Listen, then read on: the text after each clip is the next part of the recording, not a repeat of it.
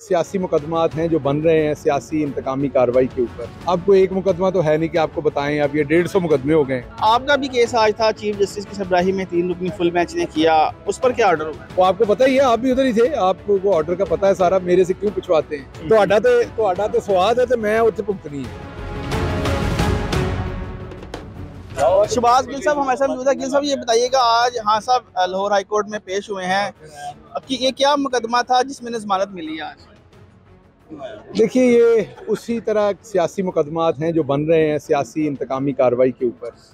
आपको एक मुकदमा तो है नहीं कि आपको बताएँ अब ये डेढ़ सौ मुकदमे हो गए। हैं और उनमें खान साहब हर हफ़्ते पेशियाँ भुगतते हैं। सिक्योरिटी के खदशात अलग हैं आपके सामने।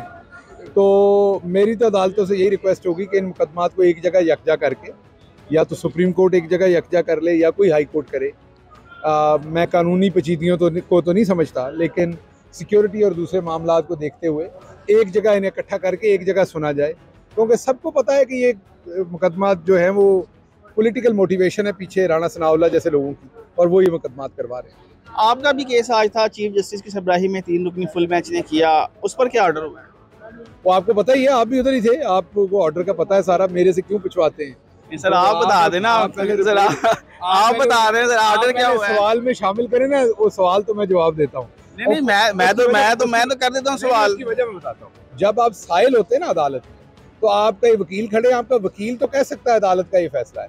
साइल के तौर पे आप जरा एक लफ्ज आगे पीछे कर दें मंडे को मैंने भुगतनी है अदालत दोबारा तो आडा तो तो आडा तो स्वाद है तो मैं है। नहीं नहीं सवाल नहीं मैं मैंने तो मैं आपसे आपको पॉलिटिकल स्टेटमेंट दे सकता हूँ मेरी दोबारा हम तो आपके साथ हैं कि आप जल्दी से बाहर जाएँ अपनी फैमिली के साथ ईद गुजारें। मैं दोबारा ये कह रहा हूँ कि मेरी पॉलिटिकल आंसर दे सकता हूँ। कानूनी पेचीदगी का जवाब देना मेरे लिए हाँ साहब वाला दे दिया आपने क्योंकि वहाँ मैं भुगत नहीं रहा ना जाके वो तो एक लेकिन पर्चा होंदे देर नहीं लगती। वो तो फिर अगे अगे केड़ा थोड़े ने जो आगों देर लगती। उसकी बात नहीं तो उसमें उसमें बड़ा, जितनी मुझे समझ आई है साहिल के तौर पे अपने बड़े ही कम कानूनी इल्म पे पूरी अदालत की इज़्ज़त तकरीम सामने रखते हुए कि अदालत ने पहले मुझे बाहर जाने का एक हुक्म दिया और जो हुक्म दिया उसके तहत मैंने एयरपोर्ट गया, मुझे रोका गया, फिर दोबारा मैं गया एयरपोर्ट, फिर रोका गया। यहाँ अदालत ने पूछा कि कोई किस किस वजह से रोका गया वजह भी नहीं बताई गई। अब अदालत ने दोबारा उन्हें कहा है कि इन्हें जाने दें इनको ना रोकें। और अगर आप रोकेंगे तो बस सतारह तारीख को अदालत दोबारा सुनेगी। इतनी मैं बात कर सकता हूँ इतनी मुझे समझ आई है। बाकी मेरे बुकला उस पर बात कर सकते सुप्रीम कोर्ट ने आज कह दिया गवर्नर स्टेट बैंक जो है वो इलेक्शन के लिए फंड्स जारी करें। तो आपको लगता है कि इलेक्शन हो जाएँगे चौदह मई को? देखिए ये मुझे लगता या नहीं लगता नहीं है। ये तो आइन की बात है।